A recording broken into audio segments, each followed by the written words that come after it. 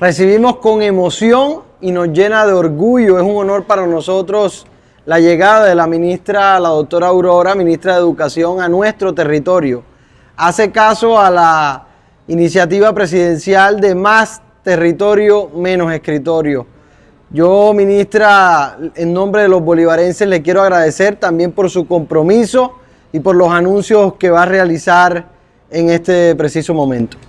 Gobernador, gracias por recibirnos, a usted, a su equipo de trabajo, a todo el pueblo de Bolívar, gracias por abrirnos sus puertas y de manera especial a la comunidad de Monpós. Aquí estamos en este bello y poderoso municipio y es un honor para el gobierno nacional poder, en medio de una situación que debemos hacer conciencia todos, una emergencia climática, avanzar con acciones de educación preescolar, básica, media y educación superior.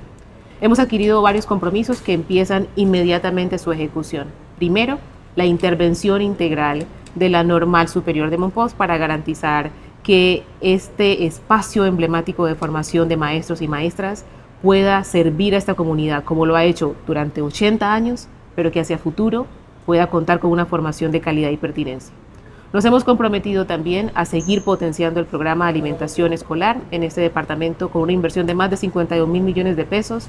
Esperamos que los niños y las niñas puedan contar con alimentos calientes en sitio. Vamos a fortalecer la infraestructura educativa también de preescolar básica y media y vamos a garantizar que la Universidad de Cartagena cuente con una presencia mucho más sólida en territorio.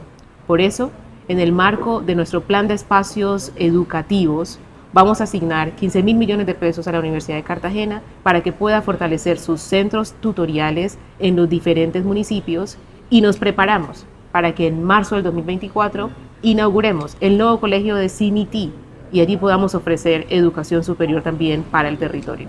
Por esa razón vamos a darle la palabra al rector de la Universidad de Cartagena para que nos cuente cómo va a fortalecer esa infraestructura y esa oferta en todo el departamento.